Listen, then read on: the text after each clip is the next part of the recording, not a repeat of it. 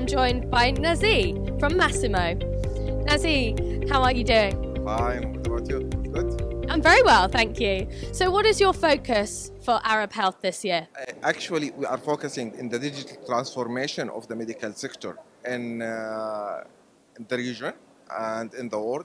We are trying to change the concept of the world of how is the medical field it should be treated uh, as well by innovating a lot of telehealth solution in, uh, in our portfolio and advancing the telecommunication between all uh, the uh, healthcare industries uh, in, in the region.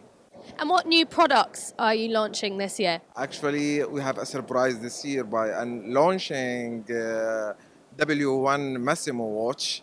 It is a, a new medical grade uh, watch uh, for continuous monitoring of a lot of parameters in uh, the uh, healthcare sector. Exciting. And how does Arab Health fit into your plans for this year? It's great. Actually, Arab Health is a great opportunity to uh, meet of, with a lot of uh, audience and uh, customers.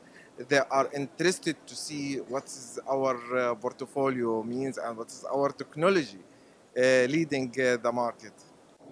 And how have you seen the Middle East healthcare industry evolve recently? Developed, it developed a lot, and the mentality and the, the way of the uh, end user and the KOL looking for the healthcare sector also is a change with the uh, developing and advancing the uh, telecommunication, uh, uh, telehealth, and uh, automation solution to be fit between the patient and the caregivers uh, in, in the sector. This is amazing, and I believe with the, the advancement from Masimo that uh, we can show and lead this progress in the world.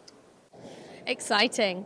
And how does Arab Health help put you in touch with your target audience? Uh, uh, Middle East is uh, uh, a focus uh, region for uh, our company.